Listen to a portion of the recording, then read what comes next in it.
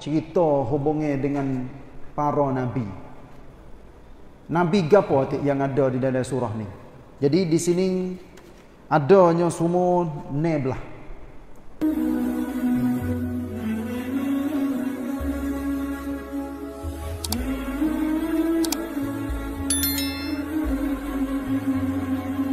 Bismillahirrahmanirrahim.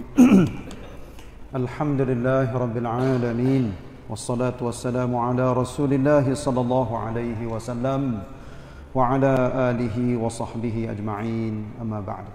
Saudara-saudari yang dikasihi sekalian, Assalamualaikum warahmatullahi wabarakatuh. Alhamdulillah kita banyak bersyukur kepada Allah Subhanahu wa taala. Pagi hari ini uh, belum pada kita nak masuk di dalam ayat uh, apa ni? Ayat 48 dah. 48 mula daripada kisah Nabi Musa alaihi salam di dalam suratul anbiya. Ingin saya kupah menjadi sekaligus. Belum pada nak baca ayat sebab ayat ni kita akan berterus boleh jadi seming uh, dua tiga dua minggu, tiga minggu lebih kurang. Jadi isi yang ada di dalam suratul anbiya yang Allah cerita hubungnya dengan para nabi. Nabi gapo yang ada di dalam surah ni. Jadi di sini adanya semua neblah. Neblah orang nabi. Nabi yang pertama sekali Nabi Musa dan Harun. Yang ketiga Nabi Ibrahim. Yang keempat Nabi Lut. Nabi yang kelima dan yang keenam iaitu Ishak dan Yaqub. Seterusnya Nabi Nuh alaihi salam. Nabi Daud, Nabi Sulaiman, Nabi Ayub, Nabi Ismail, Nabi Idris, Nabi Zulkifli, Nabi Yunus tapi tidak sebut nama Yunus tapi sebutnya Zulkifli wa Dhannun. Bukan bukan Zulkifli dah. Zunnun. Ha ni sebut di dalam uh, ayat. Seterusnya Nabi Zakaria, Nabi Yahya dan akhir sekali Maryam dengan anaknya Isa nah alaihi salam. Jadi di sini uh, Nabi Musa dengan Nabi Harun yang Allah Taala firman-Nya Allah beri kepada dia iaitu kitab Taurat dan hikmah. Nah, al bukan bukan. Al-Furqan. Patu dhiya, patu zikr. Semua tu mengandungi hikmah kebaikan kitab Taurat dan nasihat-nasihat. Nabi Ibrahim pula cerita dia panjang di dalam suratul Anbiya. Yang mana dia kena duk berjual dengan ayah dia sendiri dan kaumnya yang sembah berhala. Nabi Ibrahim dilota masuk di dalam api. Sebab puak-puak dia mai percaya Nabi Ibrahim dok pergi tegur, dok pergi tanya, dok pergi royak, katanya beranda ni tak ada faedah.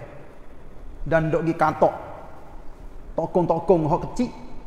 Tapi tinggal tokong hok besar sehingga Nabi Ibrahim ambil kapok hok dia katok tokong sat ni, dia letak di telinga tokong hok besar.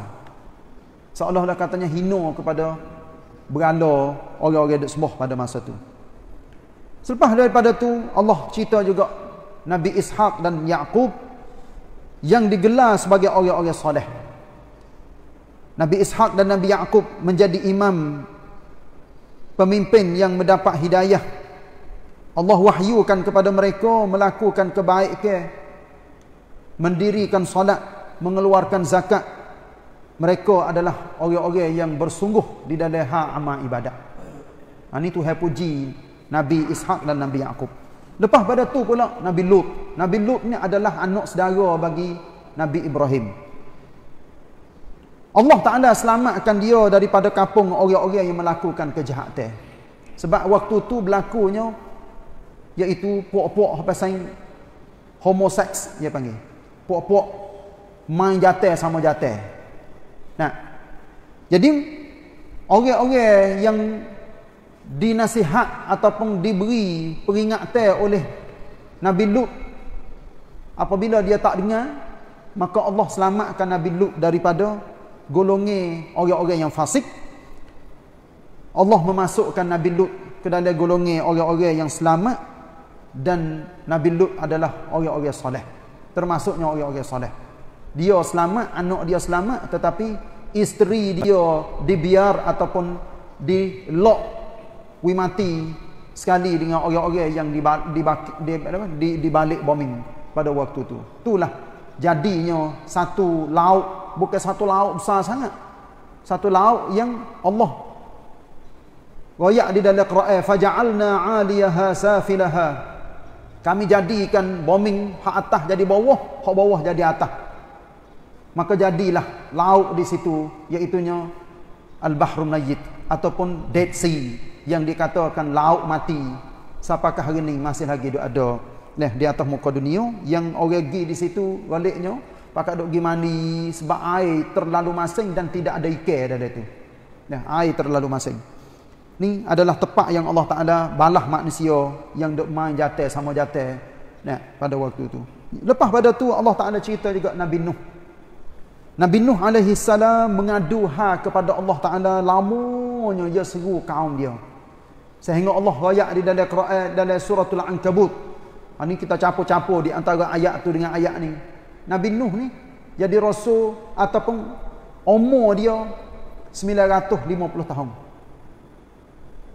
Wallahu alam dia dilatih jadi rasul tu umur berapa tapi nak no, katanya lama dia dia duk dakwah sia malam sia malam tapi kaumnya degil tidak menerima seruan.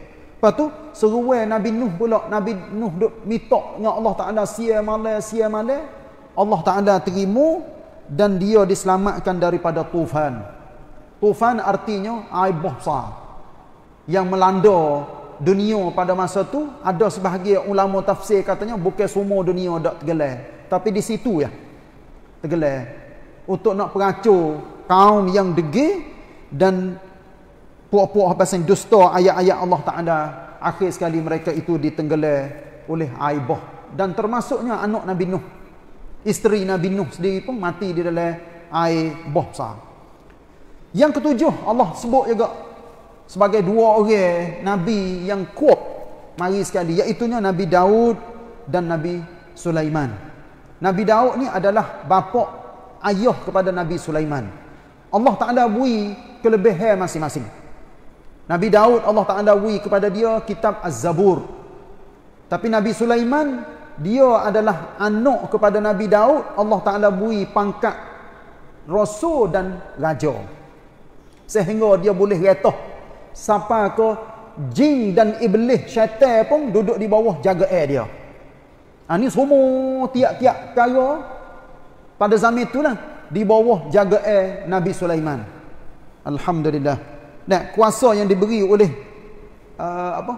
Oleh Allah Taala kepada Nabi Sulaiman ni sehingga dia boleh pesan, boleh sang kepada angin-angin ribut-ribut dan sebagainya, dia boleh royak. Suruh pergi situ, pergi sini dan sebagainya.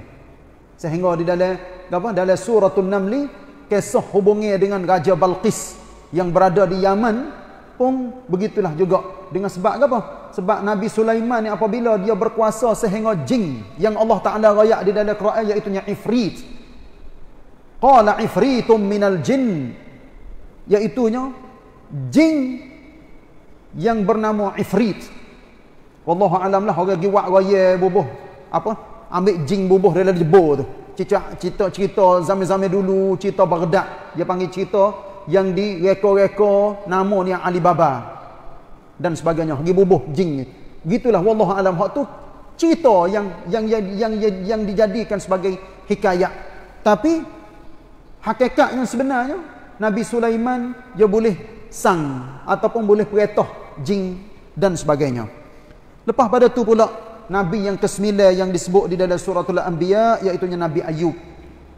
Nabi Ayub ni diuji oleh Allah Ta'ala dengan penyakit. Penyakit pula penyakit kulit. Sehingga ni ulak makan tubuh badan dia. Jadi busuk. Orang hina kepada dia. Sehingga apa? Anak-anak dia pun mati, mati, mati, mati, mati. Masya Allah, anak dia yang begitu ramai, mati belakang. Dia sendiri pun Masya Allah. Tapi lidah dia masih lagi duk berzikir sokmo kepada Allah Subhanahu Wa Taala. Alhamdulillah. Nah, akhir sekali Allah Taala kembalikan semula anak-anak dia dan semua itu adalah peringatan kepada orang-orang yang banyak beramal ibadat supaya selalunya ingat kepada Allah. Nah, sia mada dan setiap masa. Nabi yang ke-10 iaitu Nabi Ismail. Hak ni sebut tak ada panjang dak. Sejak sebut nama Wa Ismail wa Idris wa Dzulkifl. Sebut nama Nabi Ismail, Nabi Idris dan Nabi Zulkifli. Nah, semuanya termasuk dalam golongan orang-orang yang sabar dan orang-orang soleh. Lepas pada tu pula yang ketiga belah Zunnun. Nabi Zunnun artinya sahabat ataupun sahabat Ike. Ike apa tu? Pelawan yai. Yang telai Nabi Nabi apa? Nabi Yunus. Apabila dia mengaju dia duk dakwah orang sia malah sia malah tapi orang tak seterima ajaran dia. Maka dia naik sebuah kapal didapatinya dia diundi dengan sebab dalam sejarah katanya apabila orang duduk atas perahu atas kapal saat ni berat takut-takutnya kapal tergelam maka diundi siapa hak kena tahu daripada kapal undi undi undi kena atas dia semua lalu itulah dia jang dengan sebab apa? Dia diuni, dijepuk ni kena atas dia, kena maknanya kena tahu daripada kapal saat ni. Maka Allah Taala takdir ikan mari makan dia. Walaupun dia duduk dalam perut ikan sekalipun, tapi dia berzikir kepada Allah Subhanahu Wa Taala iaitu la ilaha illa anta subhanaka inni kuntu minaz zalimin. Ini ha, doa yang ada di dalam Quran yang disebut oleh Nabi Yunus alaihi salam maka kita pun tak sepatutnya sebutlah doa ni insyaallah nah dimakan oleh ikan dia akhir dia dia dia diselamat daripada perut ikan ikan lagi ke hak dia. Nah ni dia cia kalau dia kita fikir otak kita orang boleh duduk kat dalam perut ikan oksigen ada mana nak nak nak menyawa. Tapi kerjaan Tuhan Allah Taala royak katanya demikian kami selamatkan Nabi Yunus daripada duduk dalam gelak gelemak perut ikan begitulah Allah akan menyelamatkan orang-orang yang beriman. Wa kadzalika nunjil mu'minin. Begitulah kami menyelamatkan orang-orang mukmin. Yang ke-14 iaitu Nabi Zakaria.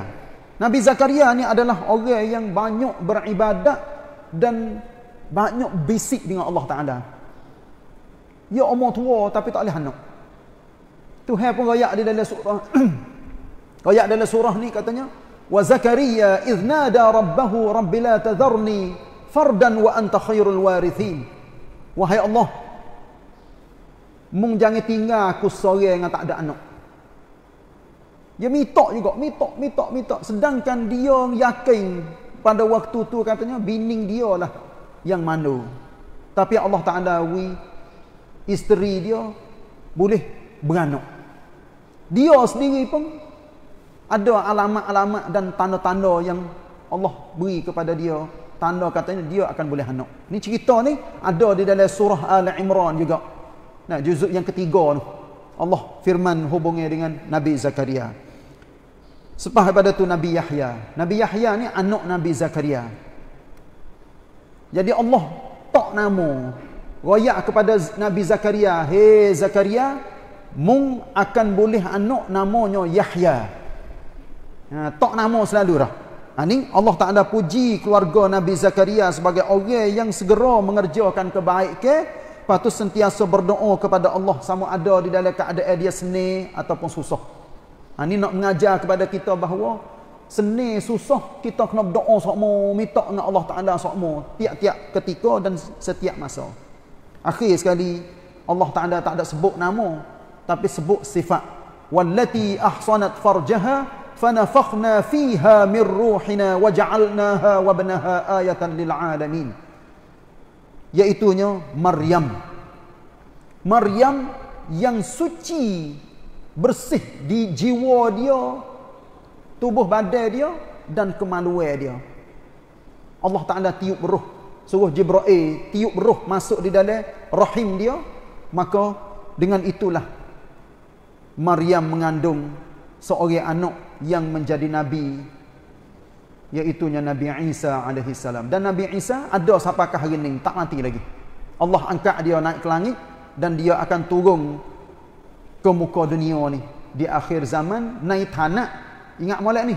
Takut-takut pergi pahal silap. Katanya oh kalau gitu Nabi Isa lepas pada Nabi Muhammad eh? bukan.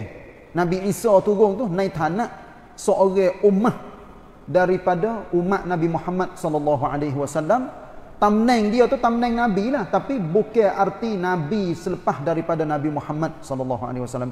Tamneng dem tapi cuang wela Allah Taala buat turun dia ke dunia ni adalah untuk menegakkan keadilan kebaikan dan seterusnya insyaallah. Ha itulah. Saya kupas sikit sebanyak kita akan makan masa lebih kurang dalam 2 3 minggu ni.